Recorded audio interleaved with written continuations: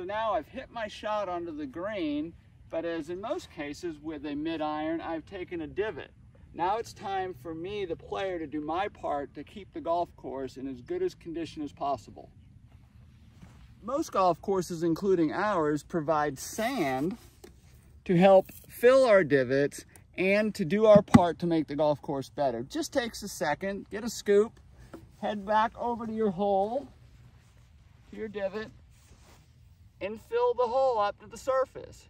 Gently step on it, and voila, you've evened off the surface, and as most of you know, Bermuda grass grows across, and that grass over time will go across and come together to provide a very smooth playing surface.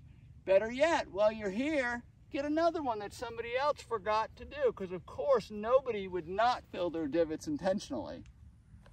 Have a great day, do your part.